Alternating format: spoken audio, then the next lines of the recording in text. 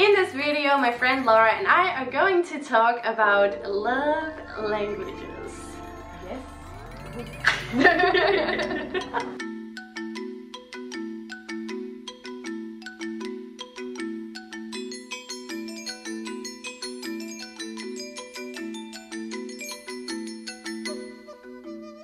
Hey guys, what's up? Welcome to another video from Lingling. Today I'm here with my friend Laura. Hi everyone, my name's Laura. I'm from Germany, married to a guy from Inner Mongolia, and I run the blog Our Chinese. Yes, check it out, links below. This video is another AMWF advice video and I have asked Laura to help me answer one of you guys' questions. And also, remember if you have something you want to know about these kind of relationships, Asian male, white, female relationships, then send me an email on info at lenaaround.com or find me on social media, Lenaaround, Instagram and Facebook. Yes, and we will do our best to answer your question. Yes, yes. what is today's question? We got a message, or I got a message a little while ago from a girl. She texted me, uh, watch this video series. I guess it's the AMWF video series. And gosh, I love them. Keep them coming. Thank you. that makes me happy. I went to stay with my fiance's family this past summer and I had a lot of overwhelming crying moments. His family speaks Liuzhou dialect along with Zhuang language. I'm still learning Mandarin, a beginner, and I wasn't sure how to express to him the isolating feeling. How can I overcome this? I tried to learn the dialect, but no one will teach me, or they tell me it's too hard. To me, that's the worst thing you can tell someone in my situation. What do you think about this? Any advice? Thank you again for your videos, always an encouragement. Also, we only communicate in Chinese and a little English because my Mandarin is better than his English. Yeah, right. Well, that's so, Liuzhou dialect and Zhuang language. Never heard about that before. That's not an easy um, that's not an easy question to begin with. No. But um, yeah, I was looking into the Zhuang a little bit after you told us about that, because um, I thought I can just be like, oh, it's not worth it. It's just such a small amount of the population. Turns out 18 million Zhuang people are living in China and other areas of the world. So that's already quite a few people right there. It's the biggest minority in China. I was not aware of it. I didn't know that. Um, fascinating. I mean, I love minority culture and I love learning languages. Mm. However, here's the but. However, I think we both agree on this. Maybe that you might want to focus on Mandarin for now. Um, yeah. There are a couple of reasons. I'm just gonna give you one. You don't know the drama that's going on right now with your potential family-in-law. if you learn the language, you'll understand everything that's going on. And that might sound a little bit silly, but when people say ignorance is bliss, sometimes I tend to agree. sometimes it's true.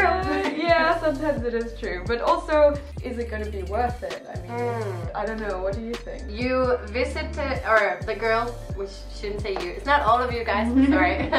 the girl who texted me, she said she just visited the family during the summer vacation. So to me, I was thinking, well, okay, it's not fun to feel isolated, but on the other hand, if you're only staying there for a month, once a year, then, or like twice a year, then bring a book, bring your phone, you know, like just do your own thing and try to survive it. Mm. And then when you go back to where you're staying with your boyfriend or fiance, then keep learning Mandarin. Like to me, Mandarin is very important.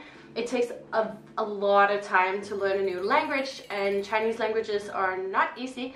And you're already, she is already studying Mandarin. She just mentioned she's a beginner Mm. And I remember how hard it was just to like get from beginner to okay fluent. And you're in a, she's in a, why do I say you? she is in a relationship. She's in a relationship with this guy and they have to make it work and he doesn't speak English. So I feel like learning Mandarin is like number one priority. And if you start mixing those other different languages, you're gonna be like so confused. It is, yeah, no, that's definitely Ooh. too much. So, and with Mandarin, you'll get further because you, can go all far. over China, right? And sure. even outside of China. I mean, from my personal perspective, I actually, um, I have a grandmom uh, like a Chinese grandmom, and mm-hmm. she is from um, Datong originally, so she doesn't actually speak the Inner Mongolian kind of um, accent, but she's got a very heavy accent that I really, really struggle with. Mm. And what I will tell you is here's my tip mm. you have to train your boyfriend to be your interpreter. Mm. It's a bit of work. Like me and my husband still still working on that. Like I get I have to get angry with him every now and then and I'd be like, do not leave the room, you need to tell me what he's saying because I can't do this. But that's probably the best idea is that you make sure that he's around and he helps you with communication. And mm. that doesn't come natural. It doesn't come naturally, especially like if, if he's used to you speaking Chinese to him. Sure. Um, so that will take a bit of time. But that would be my suggestion actually, is that you just make yeah. sure yeah. it's tiring for him, but you know, if he wants you to be around his family. Mm. And I do understand what you say what you're saying when you feel quite isolated. It is quite frustrating to not know what's going on. It's, it's not fun and and she also mentioned that she you know had these like breakdown moments just be like I can't deal with this anymore but I just want to say it's okay to be emotional first, number one. It's totally fair. It's totally okay to be emotional in front of your fiance and I can give a little more information and say she later on mentioned that, you know, he was very understanding and he was trying to make it easier for her. Mm. But again, like I just don't I don't feel like it's important to learn that like it might you know make the family happy but it's like it really depends how often you go and visit them. I feel like if you're thinking about moving into the countryside and stay in the village yes. then mm, yes, yes. Get started but mm -hmm. I'm like just do that when you get there then. Yes, yeah, if you're if you're there, if you're actually living with them and in the same house, you probably won't have much choice at no, just to listen and, and um, copy. But if but if most of your life is away from them, then mm. I mean, as much as it pains me because I love languages, like I said, but at the end of the day, uh, there's only so much you can do with your life, and Mandarin yeah. is going to get you further. Yeah. yeah. and it will take up all of your time. Mm -hmm. So I would, I would definitely say that too, and just just bring some things that can keep you, um, you know, entertained. If everyone is Occupied. like just having a party, you're sitting there like what is our to talk about? yeah, but I actually really like your advice. Just tell the boyfriend to to uh, like translate more. You know, especially if they're looking at you, because I feel like people. If I don't understand, that's one of the reasons actually why I learned Chinese in the first place. I was like people looking at me i don't know what's going on i hate that i can't reply like yeah. i'm too impatient to make other people reply for me mm. if they really are looking at you very often it's just in our head but if they do it a lot yeah. then you know make your boyfriend help translate Mm, yeah, that's probably the best strategy at this yeah, point. yeah, and then ever like if your mother-in-law she suggested or if she just you know moves in because if you guys get married and have a child she probably move in. Could, could happen. Could, happen. just, just warning here. just a little, you know, mentioning. Um, and then it might be a good idea to learn the dialect. But then again, I don't remember if she mentioned if the mother-in-law she speaks or understands Mandarin. If she understands Mandarin, yeah, that was my fine. question because a lot yeah. of the people in these areas do tend to speak Mandarin or at mm. least Cantonese. She probably speaks Liuzhou dialect as well. Oh yeah. Which dialects are just as bad. I mean, if you look at like Shanghai, Hangzhou dialect, you're lost. You know, yeah. I mean, I was learning Chinese for years. We go there and we're just like, what is going on? Yeah. There are there are so many different variations, and and it's so fascinating, but.